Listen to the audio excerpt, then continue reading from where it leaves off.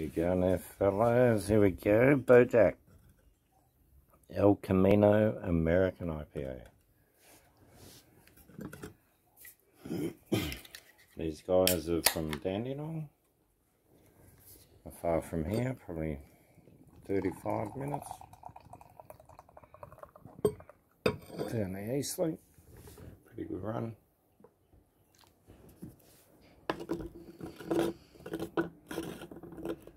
The other day all I looked for was IPAs, so that's what I've ended up with.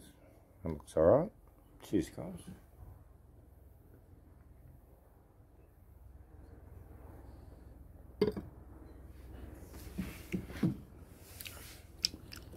Yeah. Very fruity.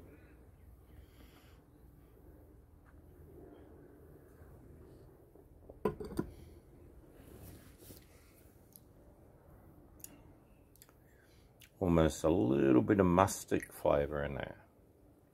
The old musk stick. You're kidding.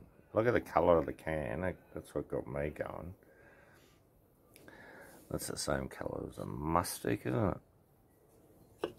Used to wolf them down as kids. Put a couple in your mouth at one time was always a good good thing. Anyway, not a bad beer. Local beer. 6%, 375 ml can, we like that.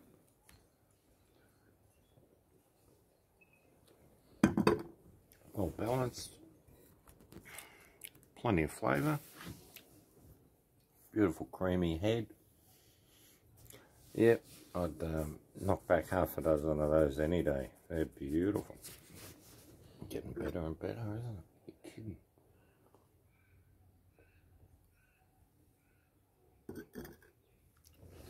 Nice beer.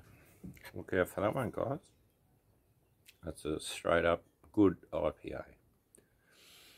American. When they say American, what do you reckon they did? They use American hops, probably? Or American style. Which you'd have to use their hops to get it, wouldn't you? You reckon they've told us what hops they've used? Combining a light malt base with classic American hops, Columbus, Centennial and Amarillo. I was going to say Centennial and Amarillo.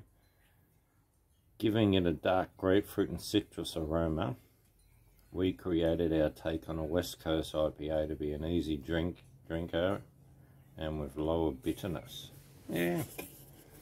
I noticed that they used a, what was it, a, a light malt base. It's not heavy, but it's well balanced. It's perfectly done with the American hop.